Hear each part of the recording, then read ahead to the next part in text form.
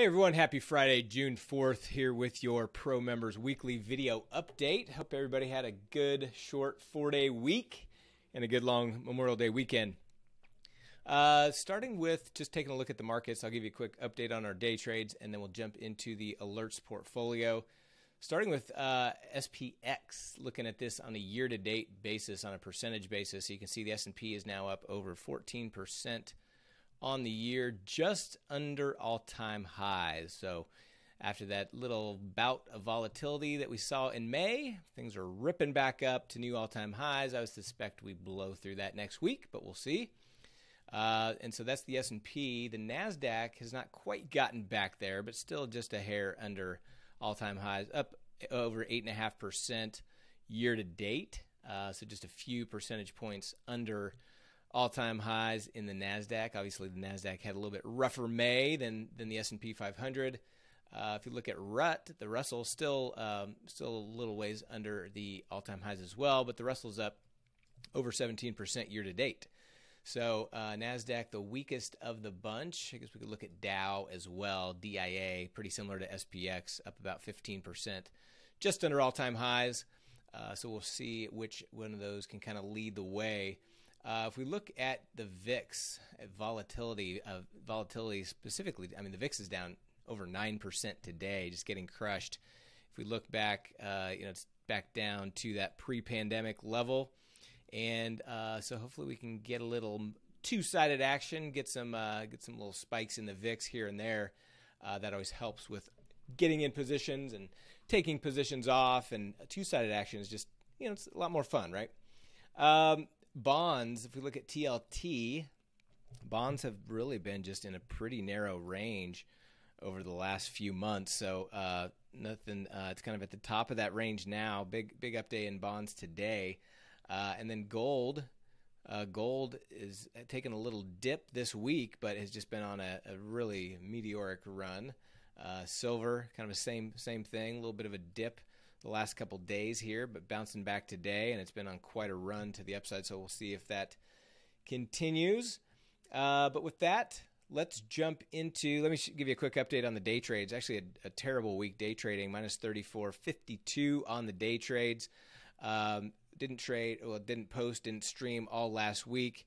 Uh, so this is kind of the first week back, and unfortunately, uh, mostly the runners were the culprit. Mighty 90s booked 956, did one pair trade for 223, uh, but had a uh, had a bad week on the runners. Part of that was uh, the market just slapped us. Just the bad guys won, and part of it was I mismanaged a couple trades a little bit as far as held on to some losers that went a little bit too long, but.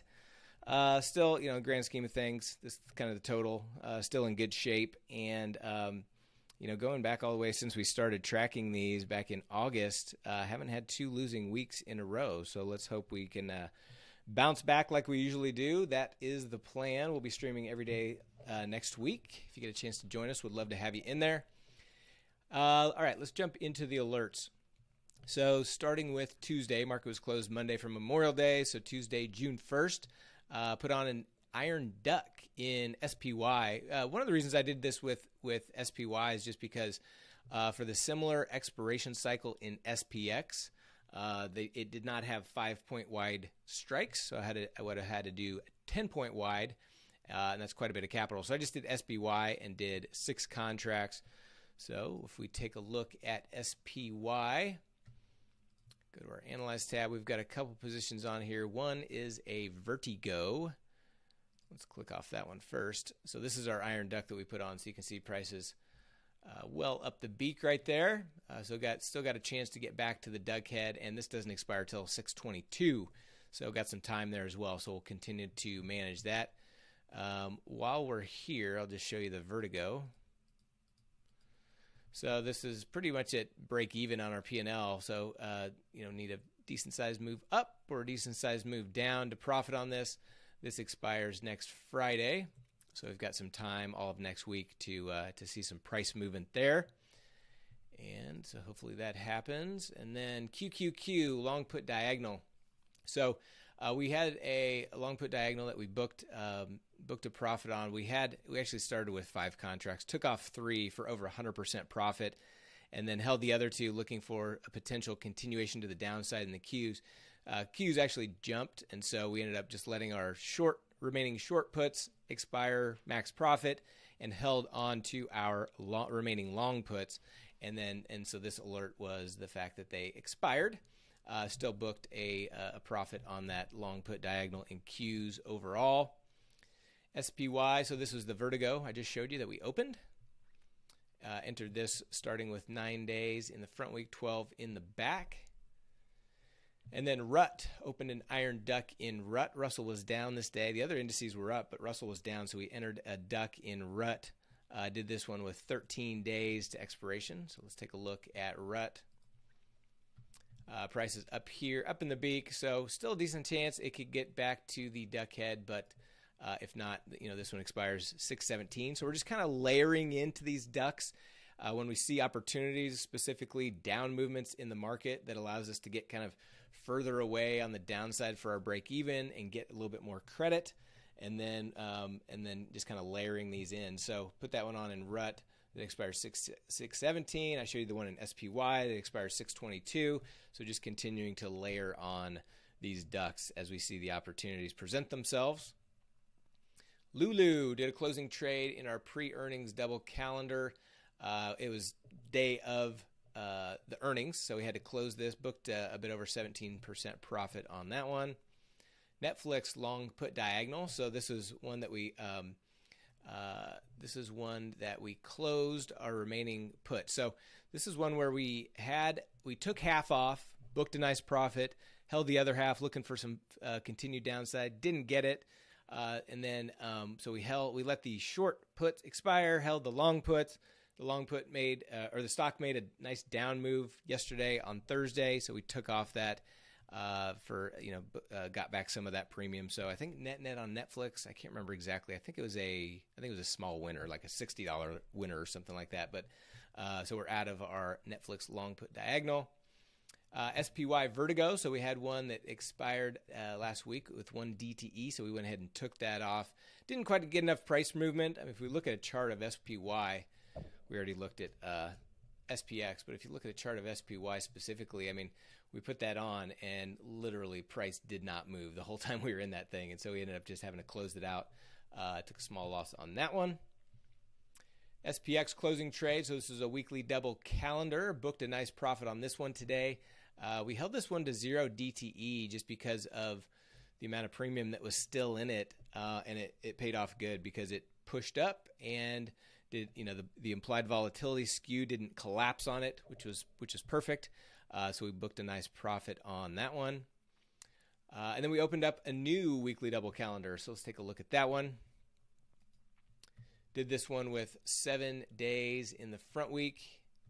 Yeah, seven days in the front and 10 in the back. So if we take a look at that, got a couple positions here. All right, so the one that's zeroed out, that's the one we just closed. Then we've got an iron duck, and then we've got our weekly double calendar. So uh, prices moved up slightly out of center since we put this on this morning, but still pretty well centered. While we're while we're here on SPX, here's the iron duck that we have, and this one expires on 612. You know, so we've got an expiration on a duck at 612. Let me scrunch this together for you so you can see it a little bit better. Uh, 612. So I move this 612. We still have a slight chance of getting back into the duck head, so we'll continue to hold this into next week. If price stays here or pushes higher, we'll probably just close that out early and book big profit. Uh, otherwise, if we do see some downside, may have a chance to get back into the duck head. So we've got this one that expires 612, got one 617, 622. So again, like I said, just kind of layering in to these. So those are all the alerts. Let's take a look at some of these other positions. We've got a long put uh, vertical in S&P futures that we're holding for downside. Prices moved out of range there, so we need some downside to get back in. In bonds, we've got this short strangle that we've been managing. Uh, we're up about 500 and some dollars on this piece since our last roll. Um, uh, a little bit of a move up today, but implied volatility is still contracting, uh, so we're getting some nice theta decay in there in Apple, another one of our short positions. We've got this uh, uh, long put vertical.